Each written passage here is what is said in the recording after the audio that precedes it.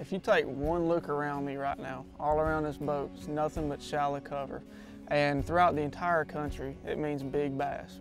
I grew up fishing in Georgia, a lot of muddy water, shallow type fisheries, and there it's hard to beat flipping and pitching soft plastics for big bass.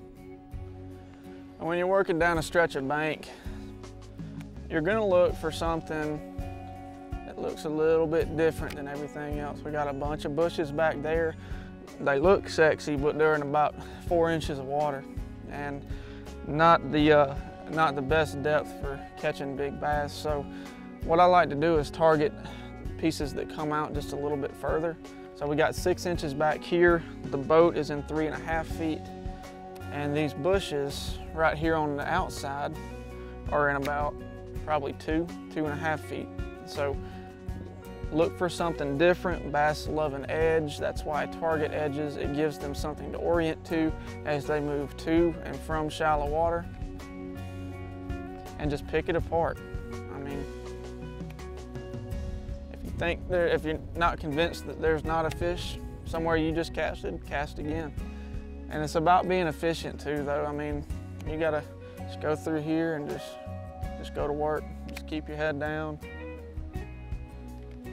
just keep fishing. I just put it down there when I'm in super shallow cover. I'll flip it in there and I'll shake it about, I'll lift it about probably two or three times. And if it doesn't bite it by then, it's lost its chance. Now there's some times where that changes, but that's primarily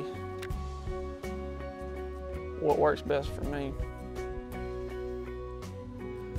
So there's not much better, uh, there's not a better feeling in bass fishing than flipping into heavy cover, feeling that thump, seeing your line swim off and setting the hook into something solid. Now I love jig fishing. I catch a lot of big fish on jigs, but the most consistent technique, uh, day in and day out, is flipping soft plastic baits. Now, when you walk down the aisle of your favorite tackle store, whatever it may be, you're gonna see bags and bags and bags and probably more bags of all these soft plastic. This one's gonna say it's the best and so is this one. So it's really hard to choose. But in, in my opinion, you can break it down into four categories. It's gonna make both your purchasing easier and I think you'll catch more fish with it. Now these four categories I like to use um, both for application and storage. You can store it a little bit more modular, modularly and uh, pick through it easier and find what you need without having to, without having to shuffle through your entire boat. I, really like to use crawfish type soft plastics in situations where of course you might think there's crawfish around. Now those situations are times like a full moon, uh, a couple days before and after a full moon, you're going to have a lot of crawfish come out of rocks, of deep brush piles around the bank, and the bass eat those. I mean, that's a great source of protein for bass. So, you know, this is this is like a craw baits like this. They'll work any day really. I mean, it's just a good staple. You flip it to, to enough trees and blowdowns, you'll catch fish. And um, I also like to use lizards. Now, people think that the lizard is a springtime only type deal. Now it's at its best in the spring, but you can absolutely whack them on this throughout the entire year.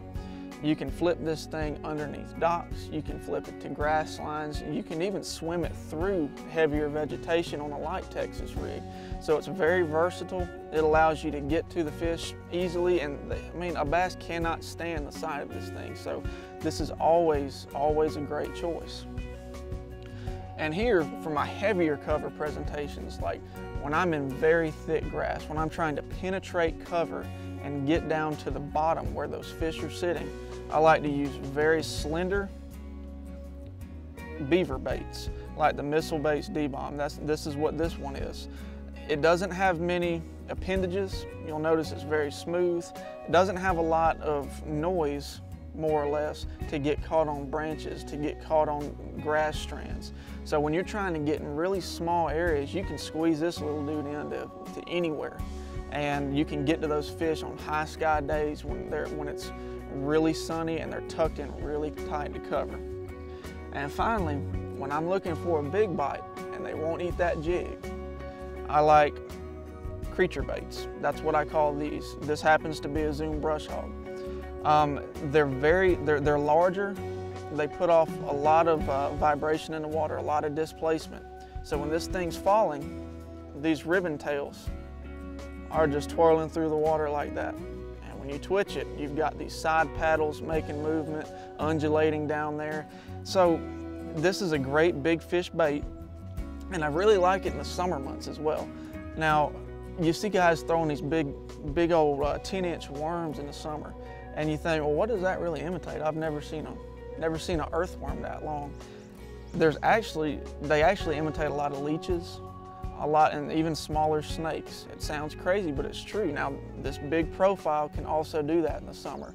So if you've got deeper docks, you know, and deeper I mean six to eight feet off the end, um, leading into a very shallow area, this is a great choice for it. And another good tip for flipping and pitching shallow cover is to uh, wear polarized glasses of some sort because you'll see some stuff in the water that a lot of guys are gonna miss. So, you know, any isolated pieces of wood out from the stuff everybody else hits is a good idea because, you know, the sexier the cover looks, the more people are gonna fish it. I mean, you're not the only one that's found it. I can almost guarantee you that. So you gotta kind of think outside the box a little bit. And when you're pitching and flipping soft plastics into shallow cover, a great starting point as far as a reel is a 7 1 to 1 gear ratio. It's quick enough to get the fish out of the cover, and if it runs to the boat, you can take up line quickly. You can go up to 8 to 1, you can even go up to 9 to 1 these days, but 7 to 1 will, get, will keep you covered. And for your rod, I suggest either a 7 foot for sh uh, shorter guys or a 7 foot 6 for taller folks uh, medium heavy to heavy action, whatever allows you to cast best um, and get the fish out of uh, your specific cover on your home fishery. Um, and as far as line selection, you want it heavy. You don't want a lot of stretch in your line either. So that's why I'm gonna pick a 16 to 20 pound fluorocarbon line. It's got low stretch. The fish can't see it. So when they bite, you can yank them out of the crud without having to wrestle with them too much. Uh, your hook selection is also critical with this technique. Um, I suggest going out and getting you a few packs of three to five aught hooks. Now you can choose between two types. You can choose between extra wide gap, which are commonly referred to as EWG. Um, they're better for bigger creature baits uh, that have a little bit more meat on them. Uh, you'll get better hook penetration sometimes, and uh, that's that's pretty much what I use the EWGs for. Now for the smaller, more compact flipping baits, um, I like to use just a straight shank flipping hook. Um, a lot of companies make some really cool ones. Um, like I said, 3-aught to 4-aught. Now these straight shank flipping hooks are great for um, flipping into small areas because when you set the hook, this dude is pretty mean. He's gonna come straight up and stick right there in the hard part of that fish's mouth and that's where you wanna hook him. Check us out at wired2fish.com.